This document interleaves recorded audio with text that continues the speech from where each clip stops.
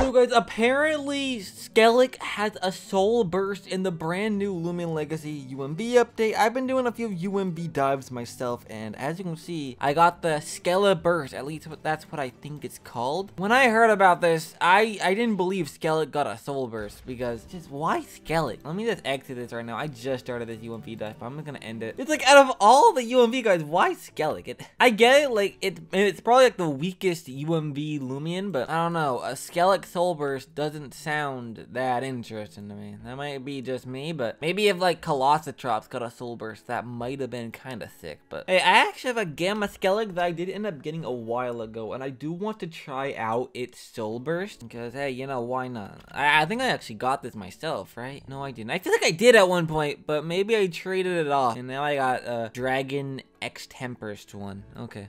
when you're auto hunting, you're like chasing your own tail. I like that. Alright, but I guess let's try out Gamma Silver Skelic. I forgot to equip it. Oh my gosh, dude. Alright, Ampole. This, this is almost like a baby Skelic. Not really, but it's still like a little fish Loomian. But I guess let's go for Soul He headless Rush? Heedless Rush? Hopefully he has its own custom animation. Because some of them do and some of them don't. This would be cool if it did. I don't know. I don't know how I feel about a Skelic Soul Burst. Wait, it's purple. Oh, okay. So Gamma Skelic is like black and pink, but when it soul bursts, it's purple. It didn't have a custom animation, unfortunately. Dude, this, okay, it actually looks cool. I like Soul Burst Skelic. Probably not my least favorite Soul Burst. I just think that Skelic is such a random Loomian to get it. Even though it sucks at PvP, it makes sense why it has it. It's just, we'll also have an Alpha Skelic too. Well, I have its pre-evolved form. I'm gonna have to train up. Oh my gosh, dude. I don't have enough power fruits, dude. I'm gonna have to go to the Battle Coliseum. Buy some power fruits. I didn't really want to do this, but I guess I'm gonna. Dude, Alpha Skelic is so ugly. Oh, dude, this guy better look good with Soul Burst because, uh, as normal, he's kind of ugly.